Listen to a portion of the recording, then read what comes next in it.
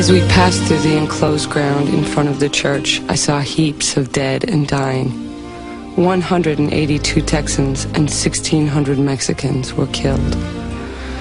I recognized Colonel Crockett lying dead and mutilated between the church and the two-story barrack building, and even remember seeing his peculiar cap lying by his side. Susanna Dickinson, Alamo survivor, 1836.